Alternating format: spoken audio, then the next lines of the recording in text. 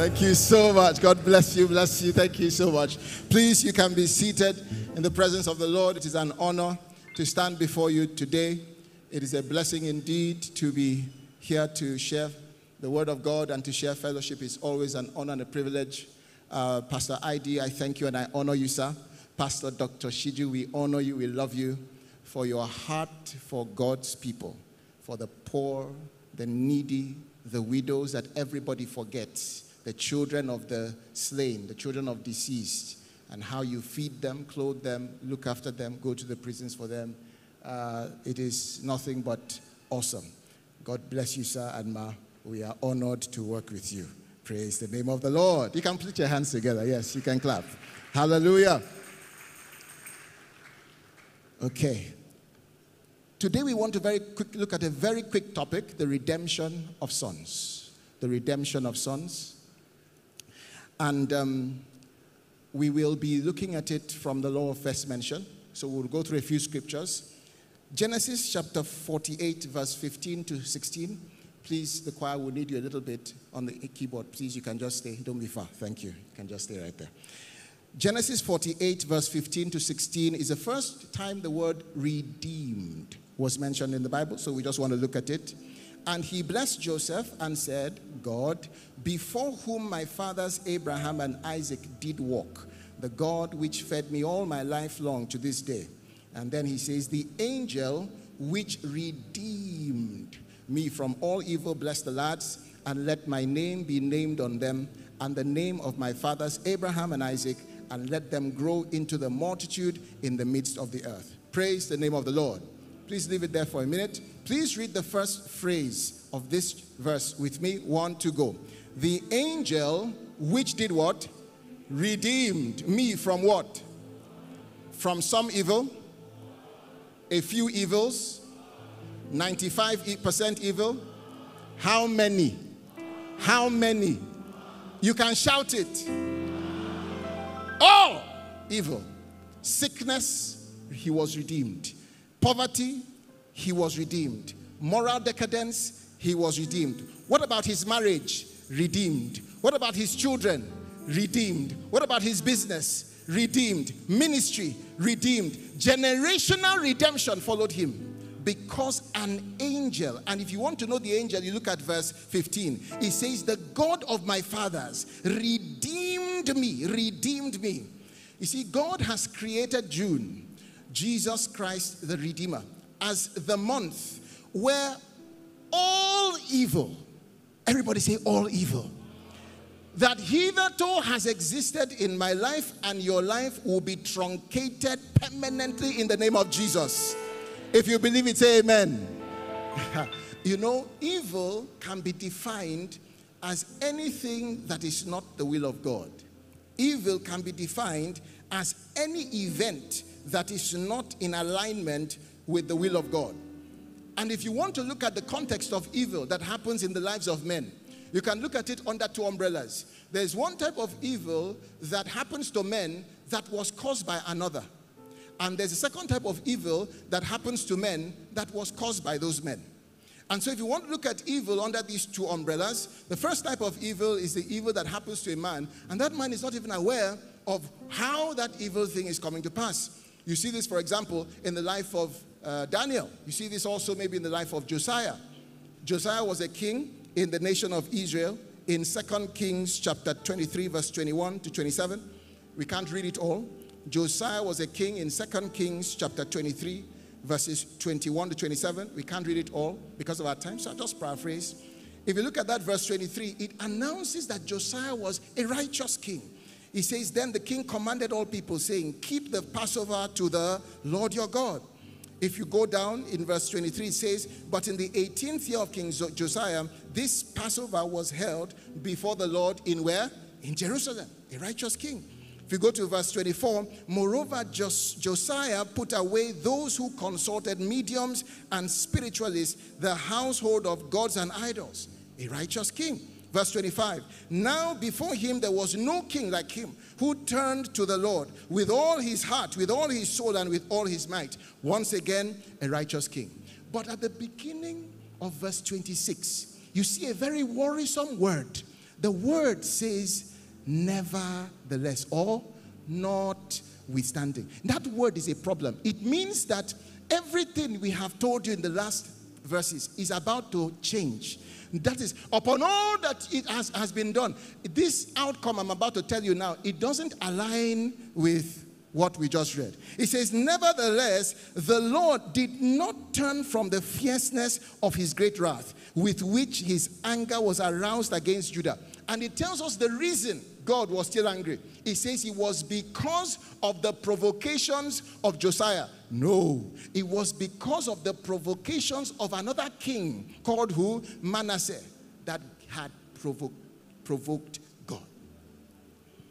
So Josiah was here, serving God, arranging Israel according to the dictates of God, looking for the scrolls of God so that they could align.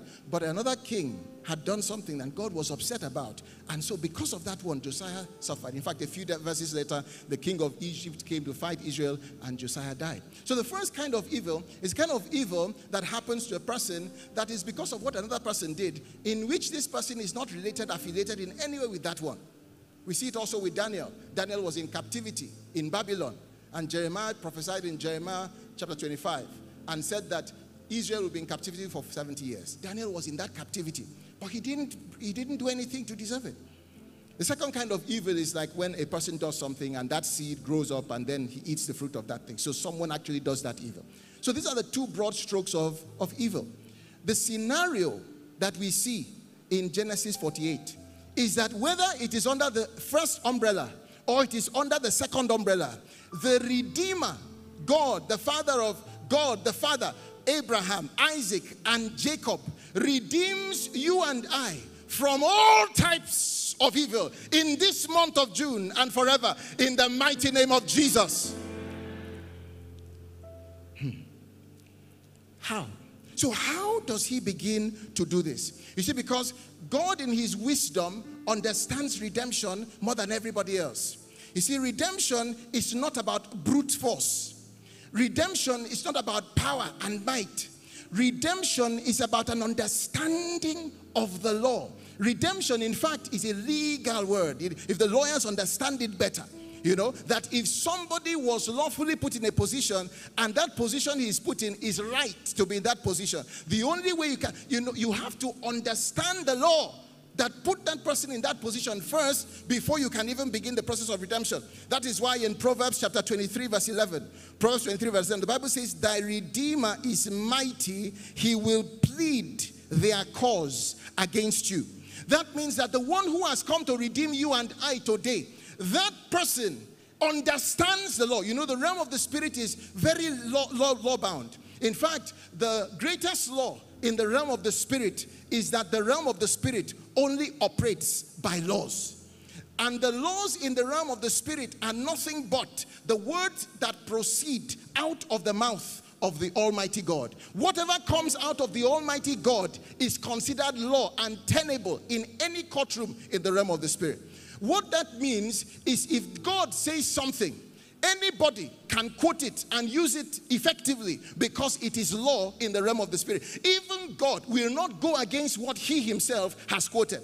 That is why in Genesis 1 26 to 28, after God created the heavens and the earth, and he gave the heavens and the earth to men and said, Let them have dominion over the cattle, the fish, the da da da da. He effectively, by that word, them, locked himself out of the earth because he gave the dominion to somebody else. Even he would not be able to redeem man. He wanted to save man when he saw the sin in the garden. He wanted to save man. He wanted to save man. So he sent Abraham.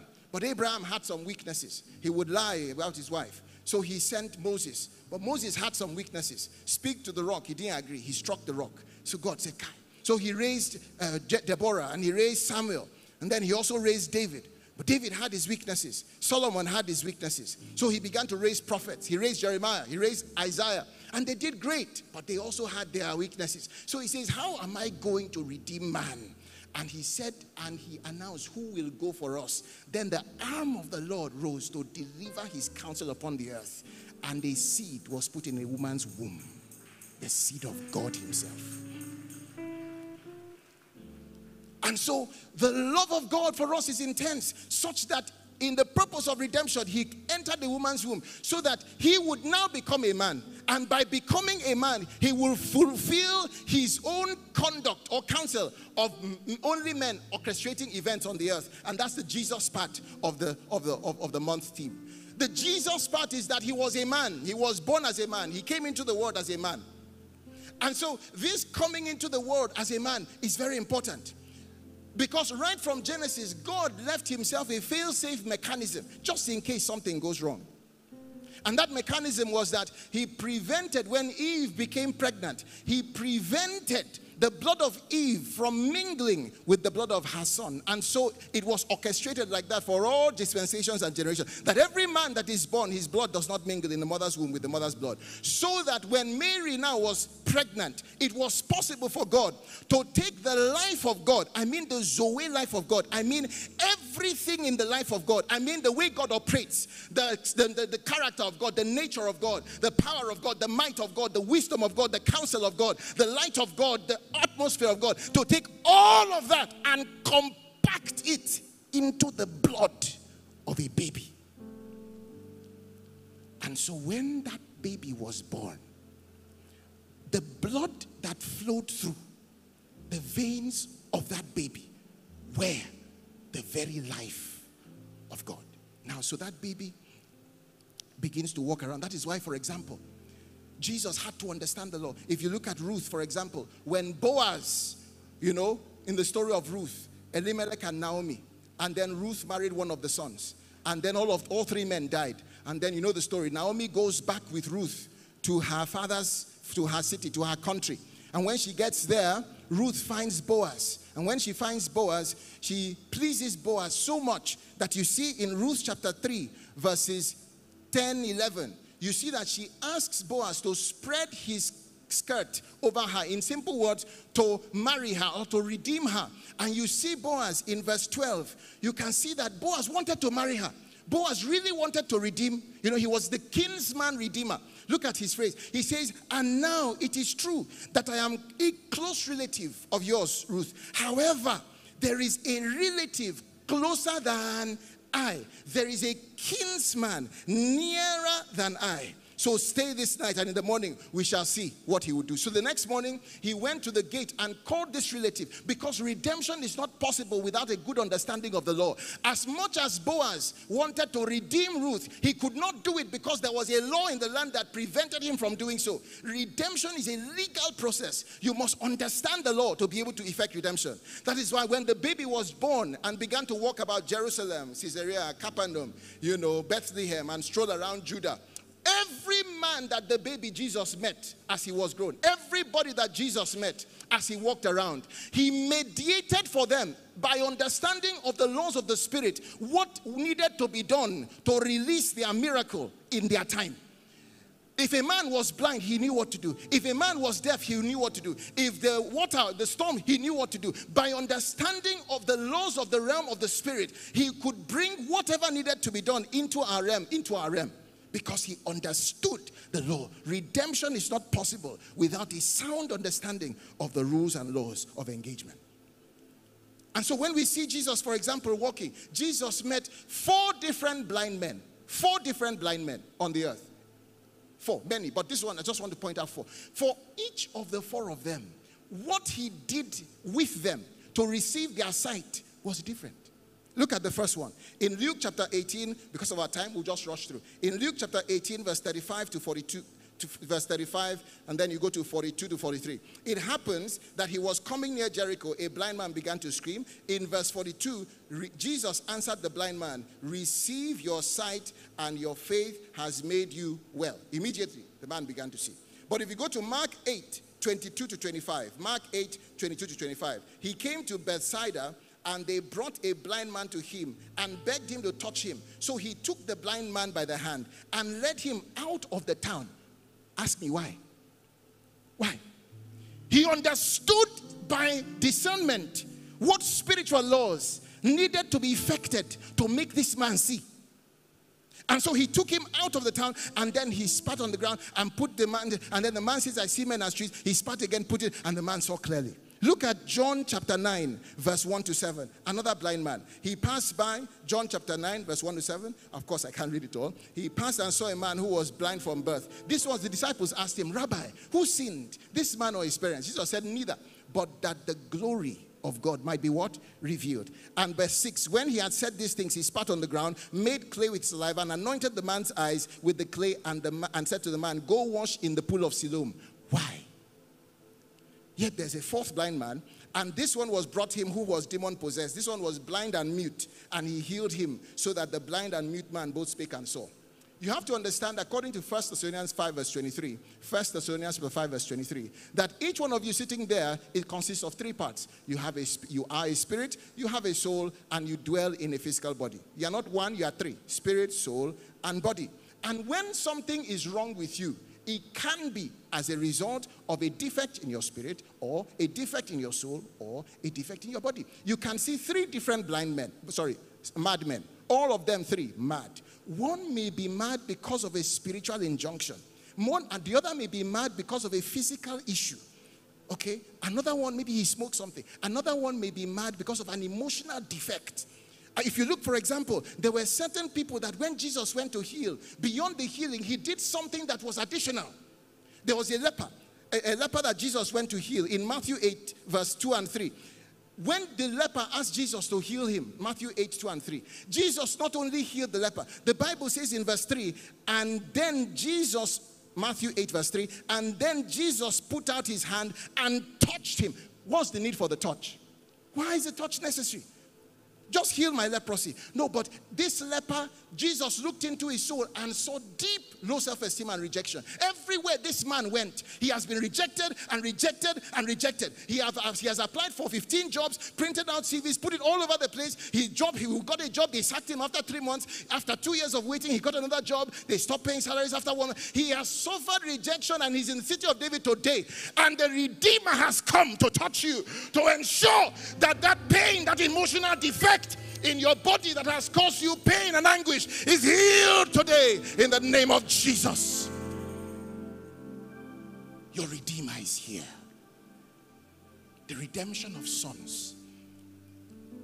That God wants to stabilize you emotionally to stabilize your emotions so that the emotions of God in heaven will find expression in you so that you will be able to cooperate with God and do what God wants to be done. So when God is happy, you can be happy. When God is sad and wants an intercessor, you can also reflect that sorrow in intercession and prayer so that your life will match and mirror the one of your Father in heaven. He wants to raise sons.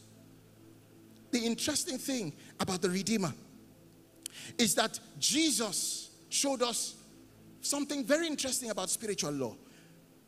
In John chapter 11, verse 20 to 26, Jesus, who has understanding of what needs to be done in the realm of spirit, revealed when Lazarus was born a slightly different perspective. He says, Now, Martha, as soon as she heard that Jesus was coming, John 11, 20, she went out and met him. Now, Martha said to him, Lord, if you had been here, my brother would not have died.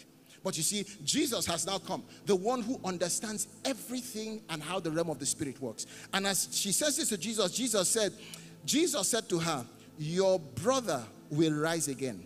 Martha said, Yes, I know. He will rise at the resurrection of the last day. But Jesus said to her, I am the law.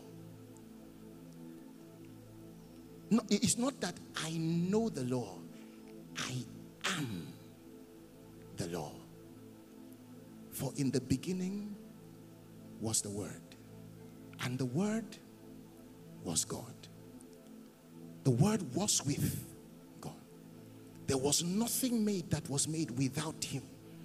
For all things were made by Him.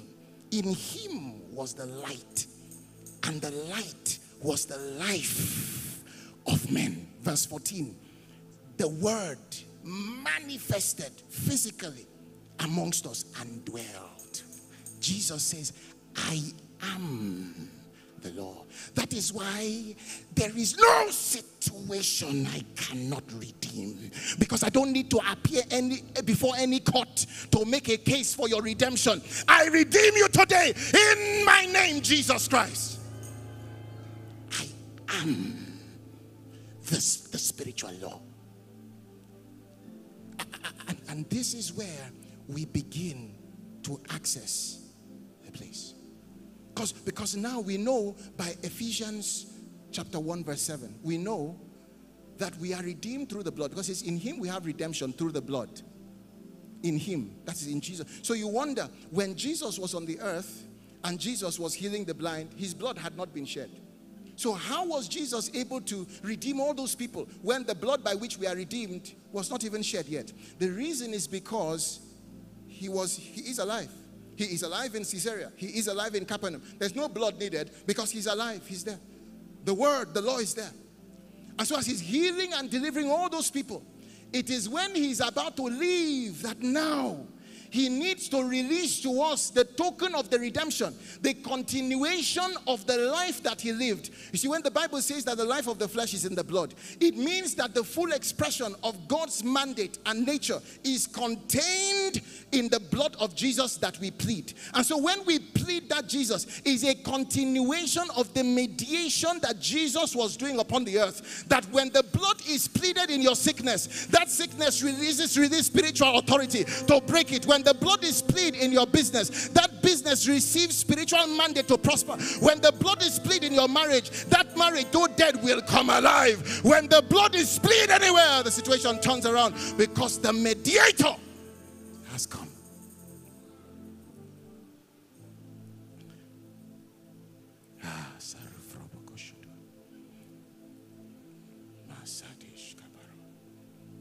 The redemption of sons. As we begin this journey of redemption, we begin to realize that we are not just in Christ, but Christ is in us. As you sit there, for example, you are carrying the mediator of the new covenant. You are carrying him. Everything that you see and touch is like he can touch them through you.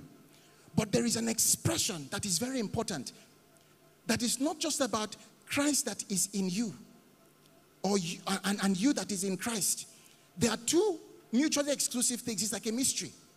That though I received Jesus at the place of salvation and he is now in my heart, there is a second process that must happen, which is that the fullness of Christ must manifest in my life. You see it in Galatians 4:19 or Ephesians 4:13. Anyone? That the fullness of Christ Galatians 4:19, it says, My children on whom I travail birth, until Christ be formed. That after salvation, that's the first work. The second, you can go to the other one, Ephesians 4:13. That after the salvation, there is a need for Christ to be formed. The formation of Christ, it says, till we all come to the unity of the faith and the knowledge of the Son of God, unto a perfect man, unto the measure of the stature of, Christ, of the fullness of Christ. What this means is that if you look at your priesthood, you are saved and redeemed for a purpose.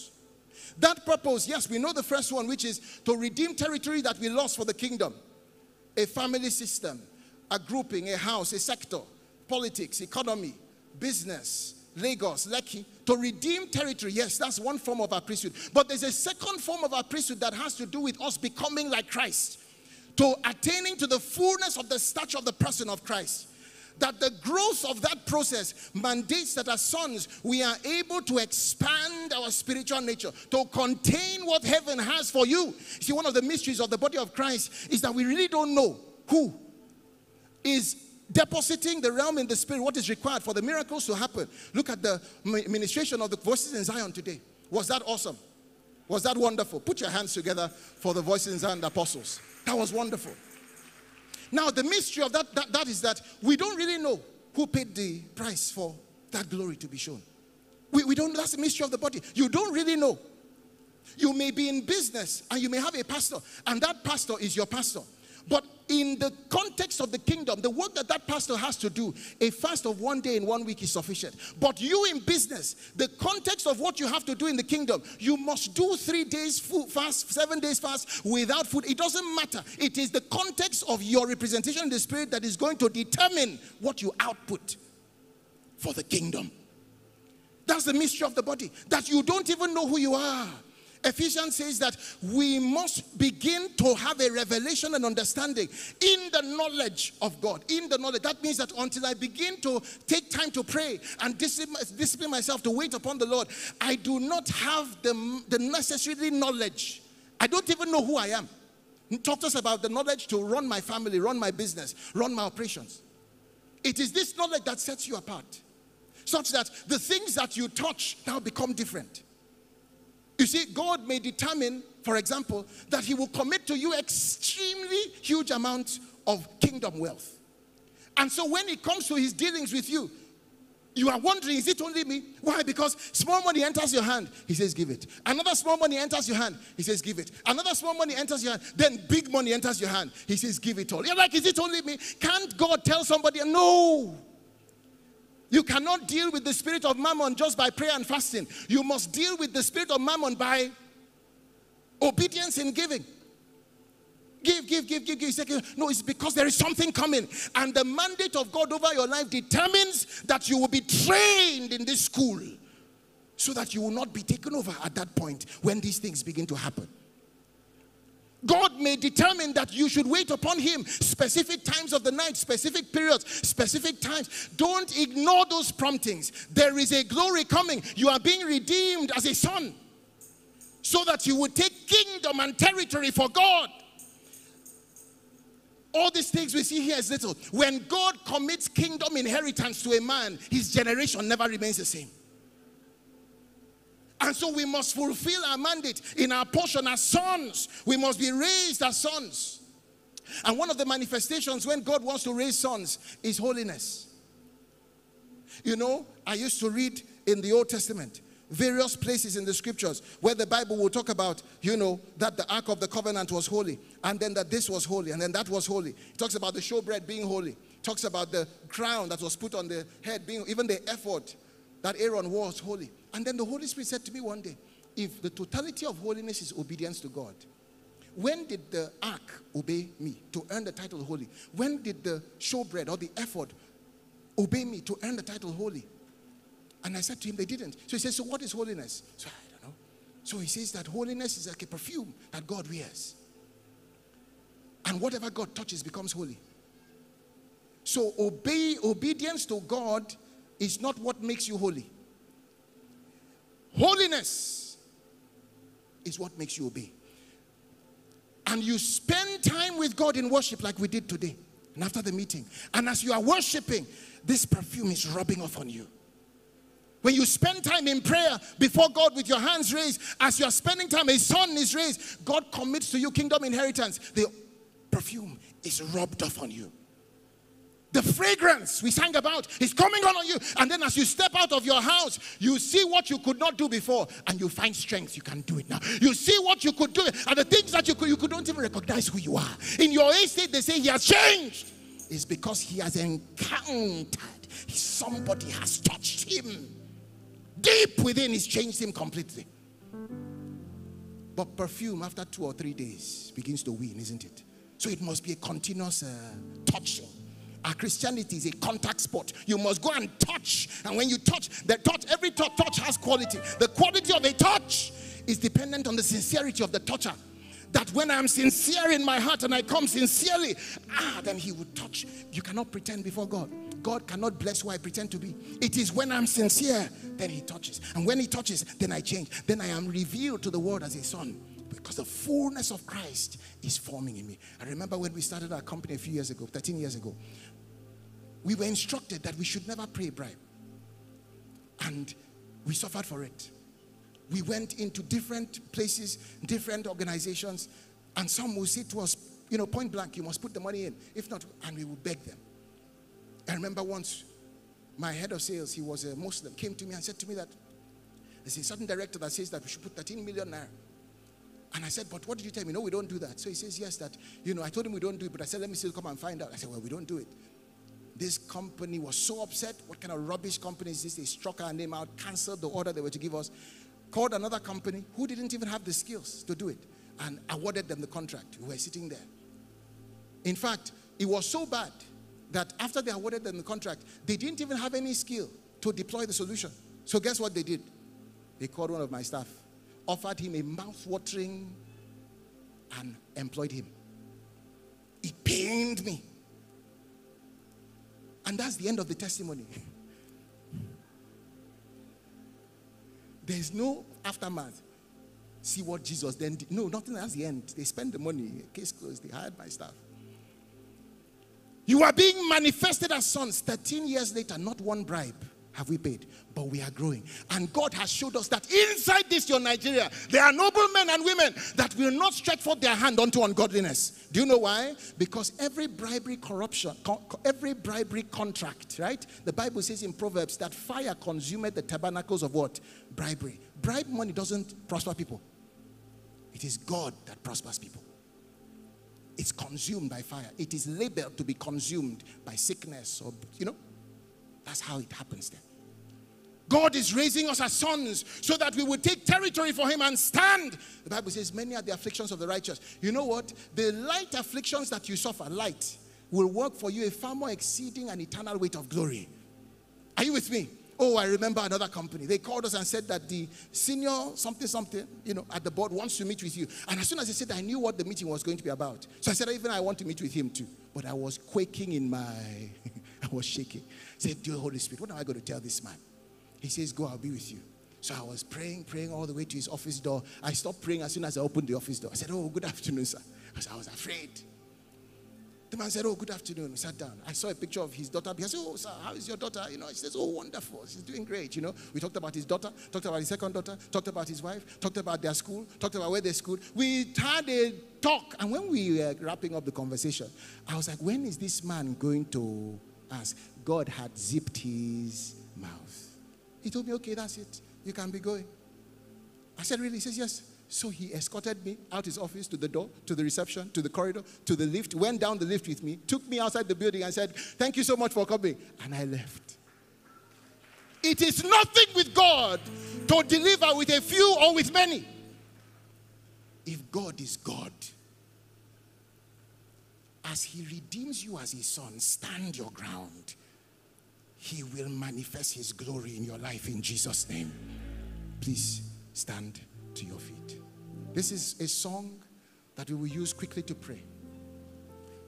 I want you to be strong. God did not bring you here to make you afraid. I want you to be strong. When I came in and the choir did that thing that they did with their hands raised, it was a confirmation. Because yesterday, as I was preparing for this meeting, the Lord said that at the point in the meeting, we should raise our hands like this. Not now, not now, not now. And how many of you saw the choir ask us to do it? Aha, you saw it, right? So that's a confirmation. The choir said that when a father wants to embrace a son, this is what the son. Now, I will add two more to it. This sign is a sign of a funnel. That everything that heaven has for you today, you will receive it in Jesus' name. Nothing will be wasted. Everything that God in heaven has for you lands, continents, countries, ideas, businesses, books, wisdoms, messages, funds, allowances, relationships, marriages, uh, children, everything that God has for you to redeem you as a son, you will receive it today in Jesus' name. The second meaning of this one is victory. That the place that you went, the Egyptians you saw before today, you shall search for them and you shall see them no more in the name of Jesus. But there's a song we will sing and then we will pray that prayer and then we are done. But just before we do that, anybody here, you want to settle the score with Jesus? Raise your hand. You want to receive Jesus as your Lord and Savior? Let's, your, let's see your hands. The Bible says that we are all creatures Eh? We are all created by God, but not all creatures are children. There's something called family business. In family business, you are a child of God. I have my children, and my neighbor has her children.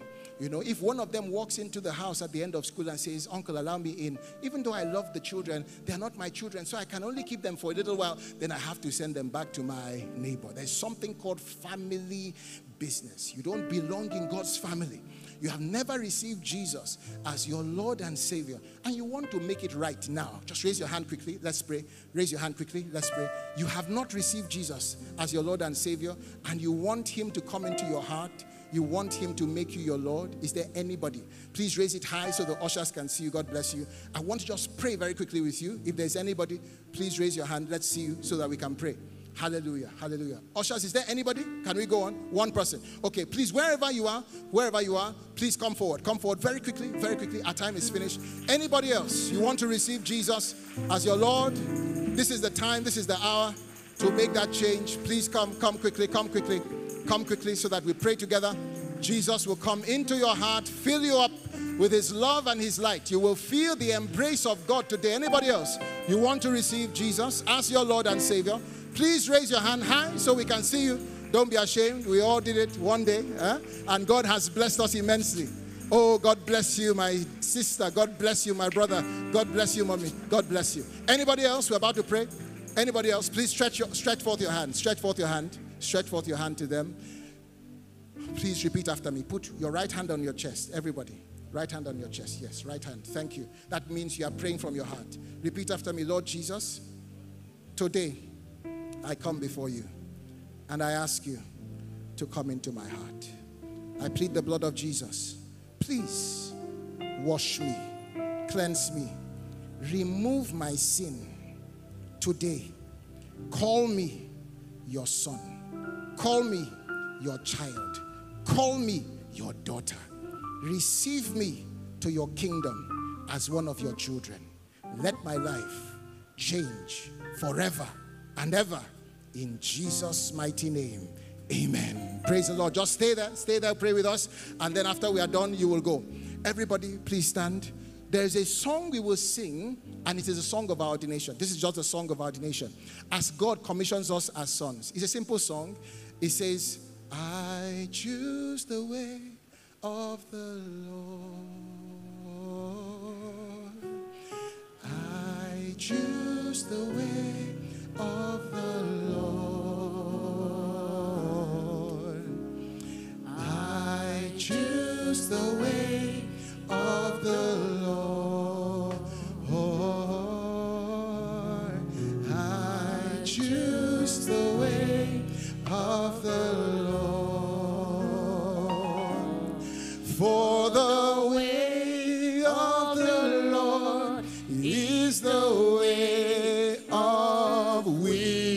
I choose the way of the Lord. Just it's a very simple song.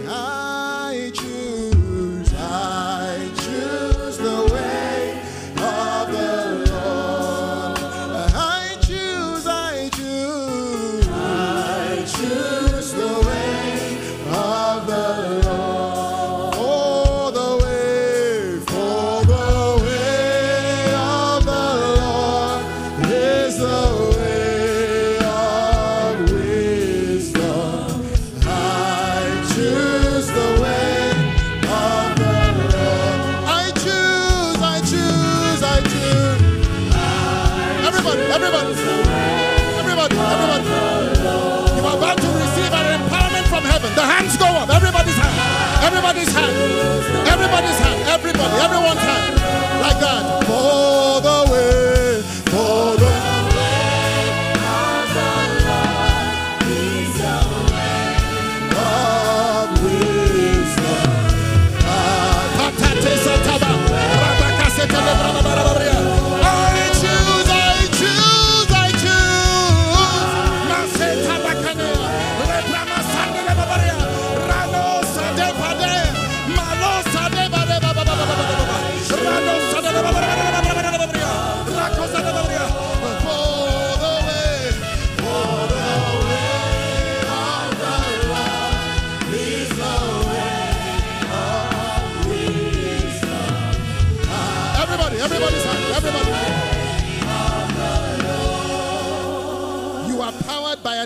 life. The life of Jesus Christ, who is the light of men. You inherited that life when he sacrificed it for you on the cross of Calvary. With it, you have inherited his legacy, his success, his genius, his grace, his mind, his truth, his victory, his wisdom, his wealth, his prowess, his power, his anointing, his sight, his vision, his strategy, his outcome, his capacity, his vivacity. And his Holy Spirit, the how of God, coursing through your veins and within your tongue is this holy combination the endless life of Christ and the Holy Spirit of the living God, the how of God, the maker and sustainer of worlds. Because of this, you cannot die, you cannot fail, you cannot falter. By this power at work within you, you subdue mountains, you walk through valleys, you dine in the midst of your enemies, unharmed, unfaltered. You carry God's anointing, overflowing. You wield power over both life and death. You have the life of Christ in the name of Jesus. In the name of Jesus, for the way, for the way of the Lord is the way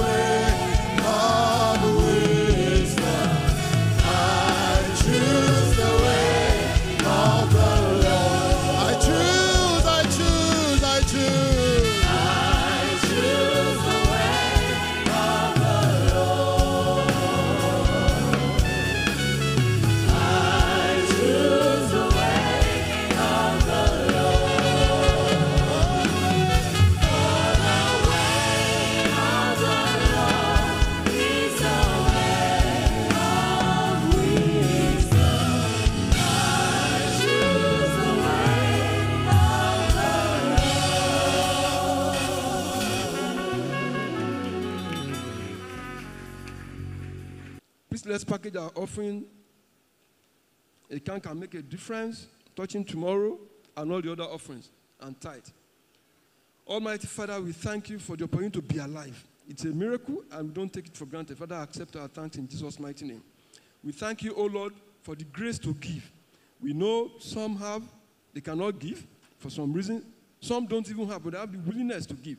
Father, we pray for those that are lacking in our midst, that your word in Philippians chapter 4, verse 19 will have avail for them, that you provide for their needs according to your glory, to your, to your riches so glorious in Christ Jesus. And that for those who have this capacity, but for some reason they are holding back, that we pray that they will understand that those that scatter will actually gather. And the more you hold on to anything, the more you need. So, therefore, we thank you, Almighty Father, for the opportunity to give you, because we have, out of the little that you've given us, out of the much that you have given us, we are giving back just a little. We pray that whatever is left in our hands, Father, you bless it in Jesus' mighty name. That these offerings and tithes and all the offerings will be used for the expansion of your kingdom here on earth in Jesus' mighty name. Thank you, Father, because you have answered our prayers. For in Jesus' matchless name we have prayed. Choir.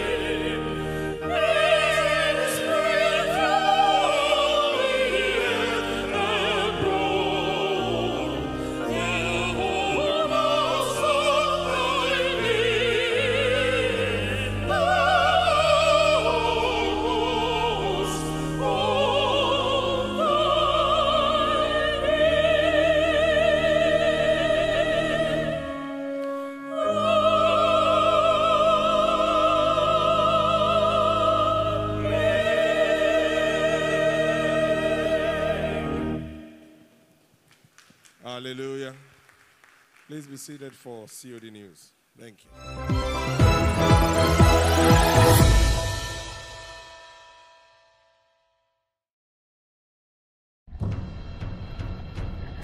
It's not complete for you to just get deliverance. If you are in Christ, you are entitled to the blessing.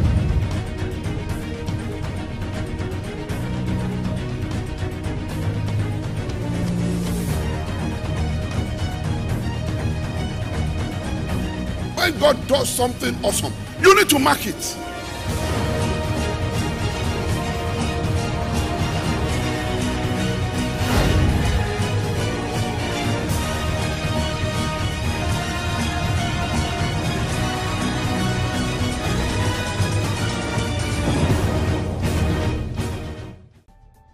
And then on Wednesday, the handmaidens of the Lord served another delightful platter of the word as Pastor Siju spoke about treasures, what treasure is, and the right way to treat everything we hold accountable. She further spoke about how our treasure defines us, how it allows us to survive, have dreams, and goals. Here's a highlight of the service. Know something today, my brethren. Your treasure develops with you. If your treasure is not developing with you, that person is not a treasure. If I'm going up, Antinoti is not going up, Antinoti is going up, I'm not going up with her, then I'm not a treasure. I don't matter to her. If I matter to her as she's going, she's carrying me along. Your treasure must develop with you. So if you have friends who are suppressing you, smell the coffee, they don't like you. Don't ever be on the wrong side of God, on the wrong side of our faith, on the wrong side of doctrine. Your location is everything. Being a treasure in hidden vessel to be used by your maker. Don't ever be on the wrong side of the road. For where your treasure is, there your heart will be also.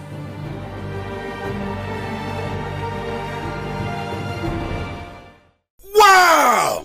Wow! Have you heard? Have you heard the big news? It's Dr. Siju again. That's right. And the big news is the Arise Community Insurance Scheme, a vision of the Arise Foundation. And now everyone is dancing. The market woman, the woman on the street, the village folks, the janitor, and the homemaker. There is ecstasy because the change agent, Dr. Siju Iluyomade, has raised the bar again. She gave them primary health care, modern hospitals, access to clean water, modern schools for education and skills development and empowerment academy to put them to work. And now their compassion hero wants to touch their life in a different way, even when they may not be around. With 15,000 naira per year, you can give cover for life or permanent disability for one person, and you can give cover to as many lives as you can. Arise Community Insurance Scheme, the gift of their life.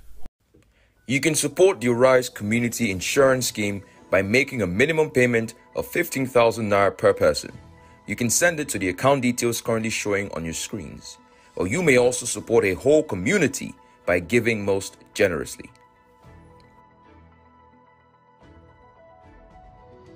You can join Carpe Diem early on Wednesday morning as they will be worshiping and praying to the God Almighty live in the sanctuary and online from 6:30 a.m. While on Friday it will be a time for pure praise and worship at our His Lord's Praise Our service holding in the sanctuary from noon.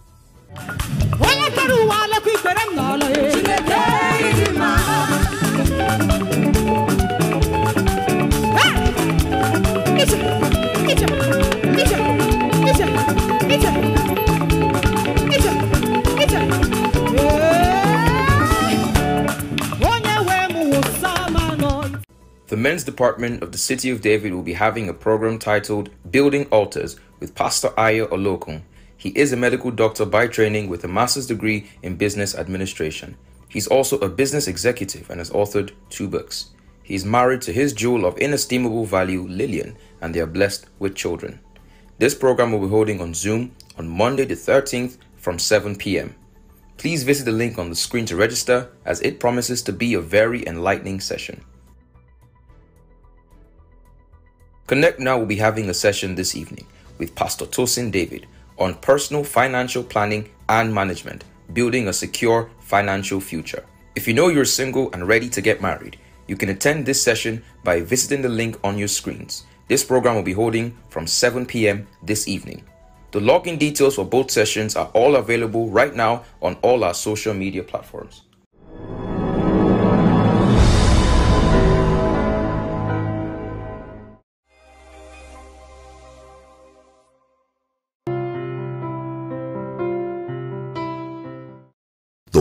Walls of the prison may be too high, but our hearts penetrates them to touch the inmates behind, to help turn them to better citizens.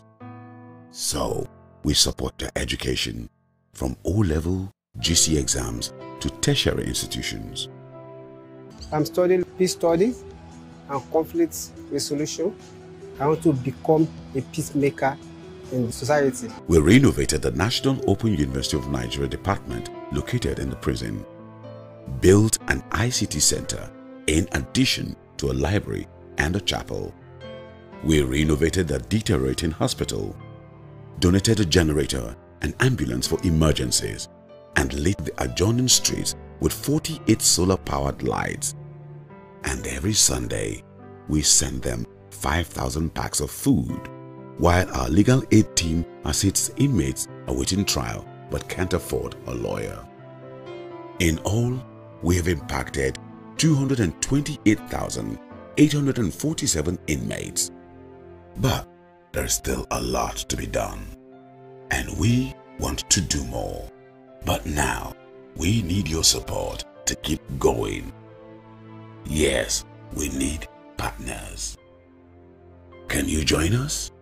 If you can commit to give 1,000 naira every month or 12,000 naira for one year, you are a partner.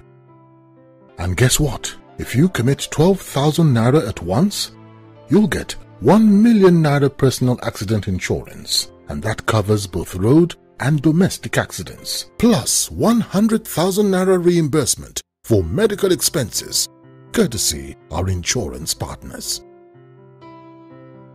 For details, visit our website. His Love Foundation. Love in action.